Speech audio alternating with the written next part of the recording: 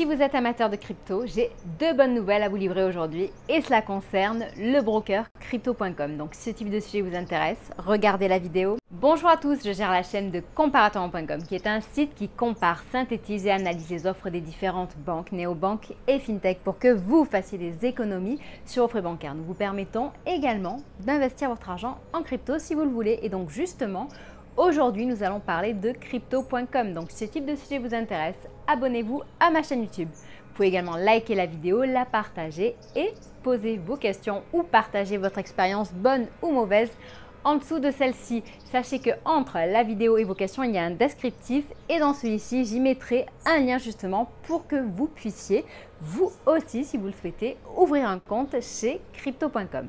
Parlons directement des deux bonnes nouvelles qui concernent cet acteur majeur dans les crypto-monnaies. Donc, comme je vous le disais, il s'agit du site crypto.com. Les amateurs de crypto le connaissent déjà car il fait partie des sites leaders dans le secteur avec Binance et FTX. Il permet notamment d'acheter, échanger, conserver, utiliser ces crypto-monnaies.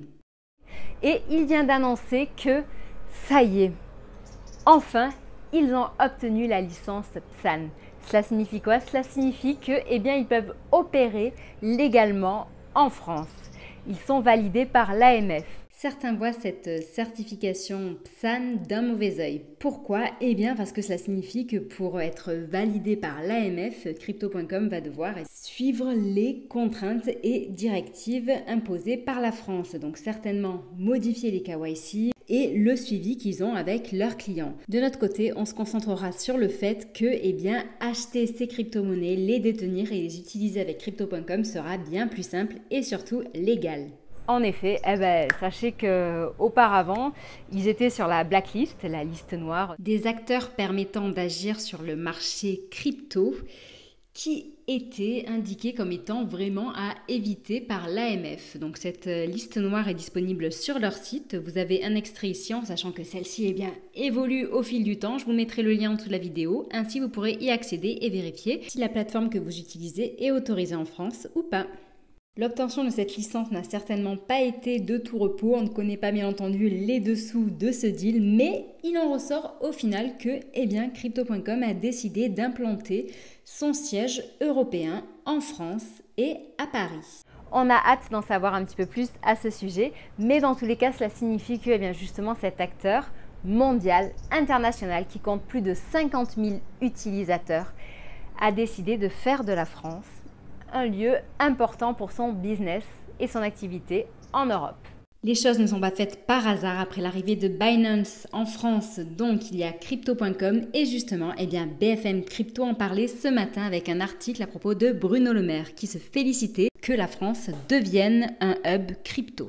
Nous proposer, Pauline, une interview exclusive du ministre de l'économie et des finances Bruno Le Maire. Je vais vous faire écouter quelques minutes de cette interview L'écosystème crypto a beaucoup bougé. Il y a eu deux crypto cracks cet été. Donc c'était intéressant d'avoir la, parole de Bruno Le Maire à ce sujet où il explique comment en fait euh, la France a joué un rôle moteur euh, dans euh, les projets de réglementation des crypto-monnaies, le projet de, règlement qu'on appelle MICA, et il explique en quoi il souhaite que la France devienne un hub européen pour les crypto-monnaies. Pour y arriver, euh, Bruno Le Maire précise qu'il faut notamment éviter deux tentations. Il y a une tentation qui est celle euh, de la peur de l'innovation qui pourrait étouffer l'écosystème crypto, hmm. et l'autre tentation, celle en fait de l'idolâtrie d'un monde qui est sans État, sans banque centrale. Euh, c'est le type de discours euh, que euh, portent certains Bitcoin maximalistes ou autres personnes voilà, qui défendent cet écosystème. Et Bruno Le Maire explique que notamment l'idée que la France puisse devenir un hub européen des crypto-monnaies, ça passera aussi par l'arrivée d'acteurs étrangers en France. On a vu Binance en France, crypto.com plus récemment, voilà. Bref, vous avez compris, cette petite vidéo résume bien la situation et l'état d'esprit. Donc, regardons le côté positif. Même si c'est un acteur plutôt récent, ils ont été créés en 2016. Initialement à Monaco, ils ont décidé d'implanter leur siège international à Hong Kong. Et donc là, comme vous le voyez, ils font vraiment un geste vers nous. Crypto.com, c'est quoi? Eh bien, c'est un acteur qui permet, comme je vous disais, d'acheter, échanger, holder, donc conserver des crypto-monnaies. Ils en ont plus de 250. Ils ont plus de 50 000 utilisateurs. Leurs frais sont tout à fait corrects. La plateforme est sécurisée, maintenant autorisée en France en plus. L'application fonctionne très très bien. On avait étudié justement leur solution il y a de ça quelques mois. Donc vous avez toutes les informations en dessous de la vidéo, vous avez notre enquête impartiale à leur sujet. On avait également fait un focus justement sur la carte Ruby, qui est une des cartes qu'ils proposent et c'est justement un des gros atouts de crypto.com. C'est-à-dire que non seulement, comme je le disais, vous pouvez acheter, échanger, conserver des crypto-monnaies, mais en plus, je dirais même surtout, vous pouvez les utiliser dans la vie de tous les jours. Il y a différentes solutions de paiement qui sont proposées avec crypto.com, donc par exemple ces fameuses cartes Visa Metal, mais également crypto.com Pay pour payer et être payé en crypto. Concernant ces cartes métal, elles permettent en plus de recevoir des CRO, c'est-à-dire du cashback en crypto, donc la crypto-monnaie de crypto.com, lorsque vous faites vos achats. Donc pour les détenir, il faudra stacker du CRO, donc c'est-à-dire eh investir vous aussi dans cette crypto-monnaie et selon le montant que vous allez investir, eh bien vous aurez un certain pourcentage de cashback. Donc il y a une carte qui est gratuite mais sans cashback et les autres donc nécessitent de stacker. Auparavant donc ils avaient un super cashback. Le cashback a été un petit peu revu à la baisse hein, de par euh, ce qui se passe un petit peu dans le secteur crypto-monnaie.